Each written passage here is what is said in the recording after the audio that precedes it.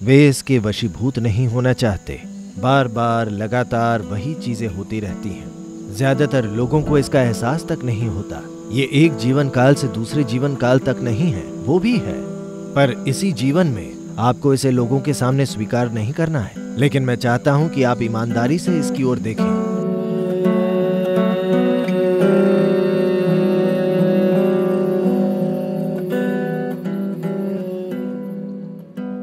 नमस्कारम सतगुरु। ब्रह्मचर्य के मार्ग में क्या क्या शामिल है? मुझे कैसे पता चले कि मैं इसके काबिल हूँ या नहीं? ब्रह्मचर्य का मतलब है मंद हवा की तरह होना। मतलब आप किसी चीज़ से जकड़ते नहीं। ये हर जगह बह रही है। हमें नहीं पता कि ये अभी ये कहाँ से आ रही है। ये अभी अभी सागर को पार करके आई है, ये यहाँ है, और ये बस बहती रहती है। ब्रह्मचर्य का मतलब है। बस जीवन के रूप में होना। उस तरह जीना जैसे आप पैदा हुए थे। अकेले। अगर आपकी माँ को जुड़वा बच्चे हुए तो भी आप अकेले ही जन्मे थे। दिव्यता के साथ बहुत नजदीकी संपर्क में। बस उसी तरह जीने के लिए। ब्रह्मचर्य कोई महान कदम नहीं है। ये तो बस जीवन के रूप में बने रहना है। शादी एक बड़ा कदम है। आप कुछ बहुत बड़ा करने की कोशिश कर रहे हैं। कम से कम लोग ऐसा मानते हैं। ब्रह्मचर्य का मतलब है आपने कुछ नहीं किया। आपने अपने जीवन को वैसे ही होने दिया जैसे रचयिता ने आपको बनाया था। आपने उससे कुछ अलग नहीं बनाया। ब्राह्मण या सृष्टा के मार्ग पर होना। उसके तरीके से होना आपके तरीके से नहीं।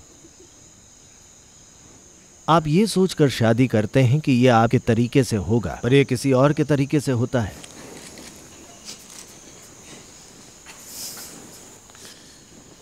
तो ब्रह्मचर्य का मतलब है बस उसका तरीका। जिस तरह उसने आपको बनाया, बस वैसे रहना। कोई कदम नहीं। अगर आप कुछ नहीं करते तो आप एक ब्रह्मचारी हैं। लेकिन साधना है, दूसरे अनुशासन है, उनके बारे में क्या? ये सब आपको उस तरह रहने में सहायता करने के लिए है। क्योंकि एक बार जब आप इस धरती से सामग्री उठा लेते हैं जब आप इस धरती से पदार्थ उठा लेते हैं तो इस धरती के गुण आप में प्रवेश कर जाते हैं और आप पर शासन करने की कोशिश करते हैं। ऐसा होने पर धरती का एक बुनियादी गुण जो आप में आ जाता है, उसे जड़ता कहा जाता है। तो परमात्मा के मार्ग पर होने का मतलब है, धरती के तरीकों में नहीं पड़ना। एक चीज़ है जड़ता, दूसरी चीज़ है एक मजबूरी भरी गतिविधि। अगर आप इस धरती का एक टुकड़ा उठाते हैं तो आप धरती जैसे बन जाते हैं। यह आपको चक्रों में फंसाने की कोशिश करती है। इस ब्रह्मांड में जिस भी चीज़ को आप भौतिक कहते हैं, उस सभी का आधार चक्रीय गति है। क्योंकि भौतिकता सिर्फ़ तभी मौजूद हो सकती है जब वो चक्रीय हो। ब्रह्मचर्य का मतलब है आप चक्रीय गति के वश में नहीं होना चाहते। क्योंकि एक ब्रह्मचारी जान गया है कि दुनिया उनके बिना चल सकती है, वो अब वापस नहीं जाना चाहता। देखिए, चक्र का मतलब है, अगर आप एक गोल घेरे में चलते हैं, चाहे घेरा कितना भी बड़ा हो आप वापस वहीं आ जाते हैं, है ना? भले ही आपको न्योता न दिया गया हो आया ना? जब एक बार आप गोल मार्ग पर चलते हैं तो आप वापस आ ही जाएँगे। हम नहीं जानते कि लोग आपको चाहते हैं या नहीं। दुनिया आपको चाहती है या नहीं, पर आप हर हाल में वापस आएँगे क्योंकि आप एक चक्कर पर हैं। तो जो लोग जान गए हैं कि उनकी वास्तव में यहाँ ज़रूरत नहीं है, वे एक सीधे मार्ग पर चलना चाहते हैं। दिव्यता के मार्ग पर, ग्रहों के मार्ग पर नहीं।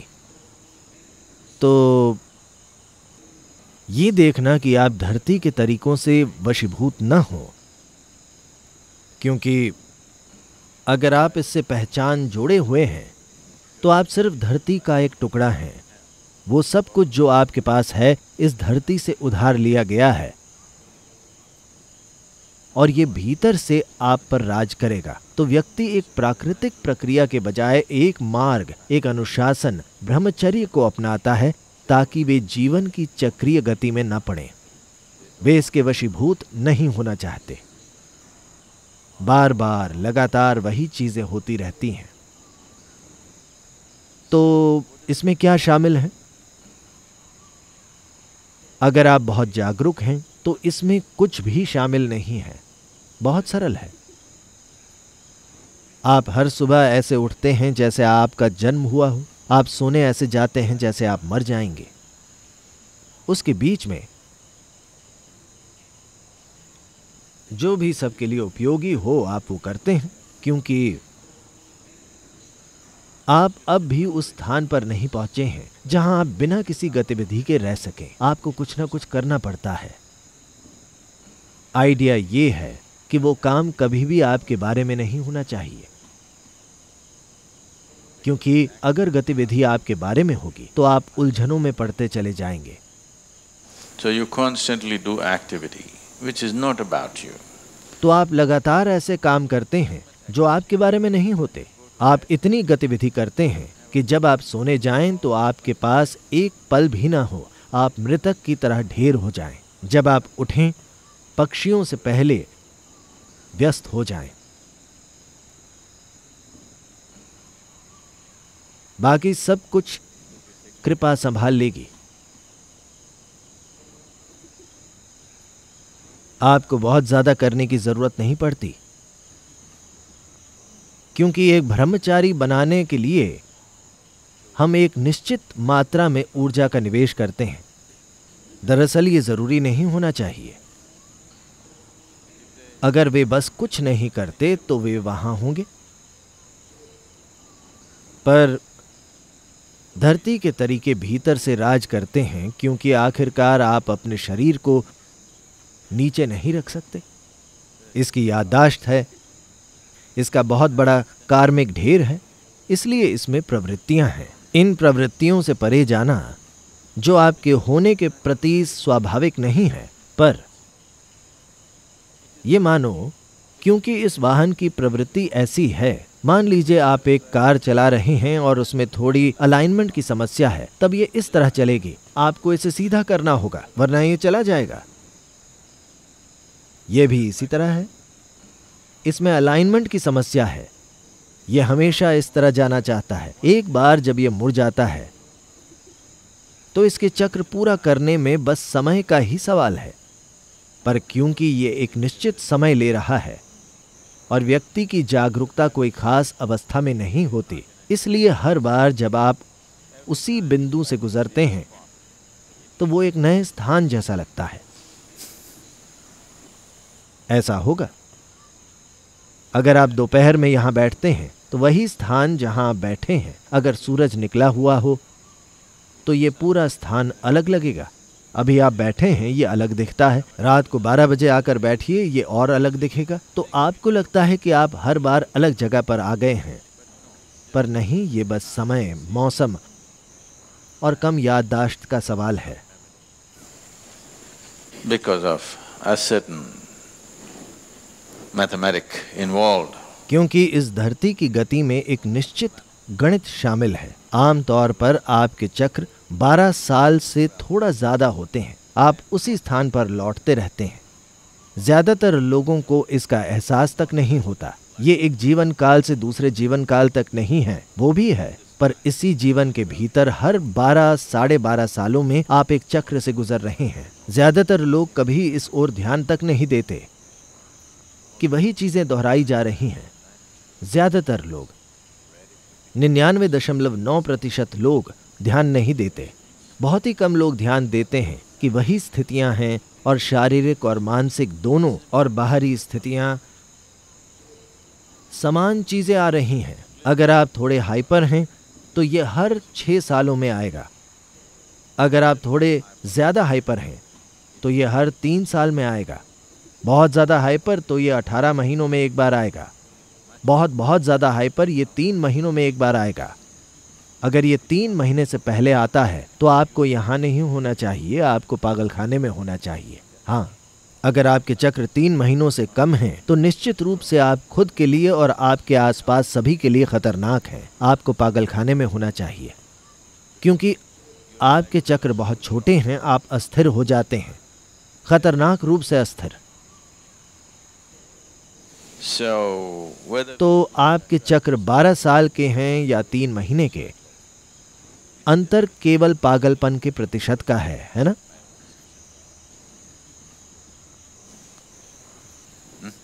अगर आपका चक्र तीन महीने का है तो सभी देख सकते हैं कि आप पागल हैं। अगर आपके चक्र 12 साल के हैं तो लोग नहीं जान पाते, पर आप जानते हैं। अगर आप ईमानदार हैं तो आपको पता है आप पागल हैं।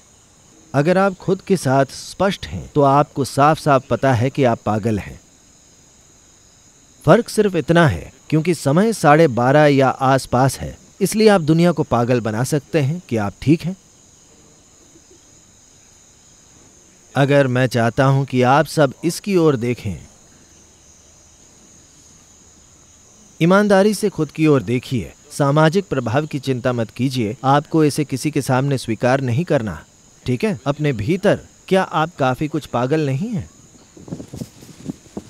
कुछ कहने की ज़रूरत नहीं है। आपको इसे लोगों के सामने स्वीकार करने की ज़रूरत नहीं है। लेकिन मैं चाहता हूँ कि आप ईमानदारी से इसकी ओर देखें। अगर आप खुद को लेकर ईमानदार और स्पष्ट हैं तो आपको पता है कि आप काफ़ी दूर निकल चुके हैं। अगर आपने खुद के आगे इसे स्वीकार कर लिया है तो आप इसे ठीक करना चाहते हैं। पर आप इतने ज़्यादा सामाजिक प्राणी हैं कि आप कैसे हैं, इससे कोई फ़र्क नहीं पड़ता। आप कैसे दिखते हैं, आपके लिए बस यही मायने रखता है। तब आप जारी रख सकते हैं। कई जीवन काल तक आप जारी रह सकते हैं। आप कैसे हैं, यही मायने रखता है। आपका होना आपके लिए बहुत महत्वपूर्ण हो गया है। न कि ये कि कोई आपके बारे में क्या सोचता है। दूसरों की राय आपके जीवन को नहीं कर रही। ये आपके जीव का स्वभाव है। अगर ये होता है तो आप स्वाभाविक रूप से दिव्यता के मार्ग पर चलेंगे। आप वहाँ होना चाहेंगे और कोई रास्ता नहीं होगा।